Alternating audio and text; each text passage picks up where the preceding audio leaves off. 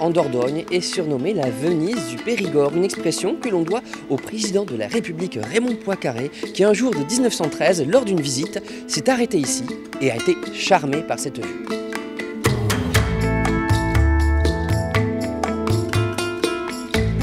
Alors on voit derrière nous un grand bâtiment. De quoi s'agit-il? Alors il s'agit de l'abbaye de Brantôme. C'est un grand corps d'abbaye qui fait aujourd'hui 127 mètres de long. Les moines ont, aménagé cette partie du canal sur laquelle nous sommes en train de naviguer. Car de l'autre côté, c'est la rivière qui enserre la ville par euh, l'autre côté. donc. Et ici, c'est un canal qui fait environ 500 mètres de long. Alors c'est une eau qui est plutôt claire, cristalline. On voit qu'il y a beaucoup de poissons. Euh, il y a une faune riche ici. Exactement, oui, oui, on est à 80% en zone d'intérêt écologique, donc c'est très bien de, le rappeler. Et euh, on voit énormément d'algues. Alors ces algues, elles sont naturelles, c'est pas dû à une pollution quelconque, elles ont toujours existé.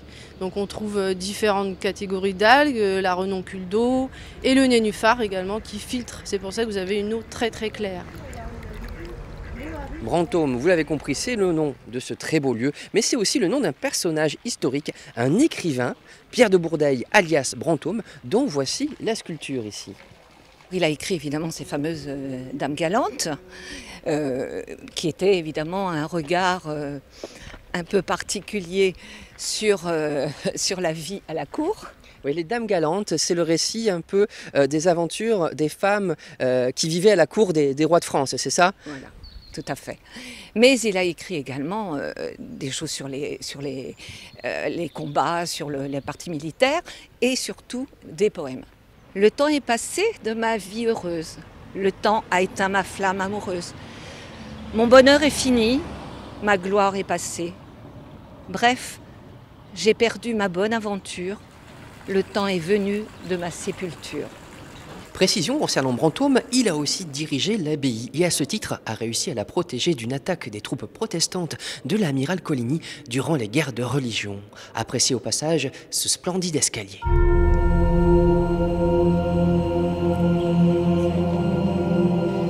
Alors là, je suis passé derrière l'abbaye actuelle et je rentre dans une grotte euh, qui est l'endroit où les moines ont vécu au tout début.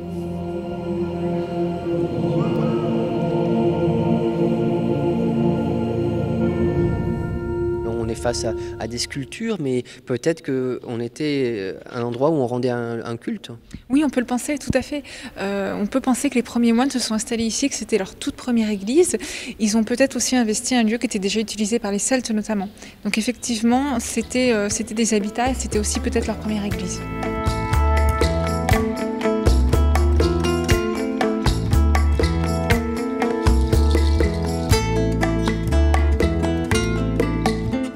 Dernier site remarquable pour conclure cette escapade à Brantôme. Voici le dolmen de Paille-Relevade à la sortie de la commune.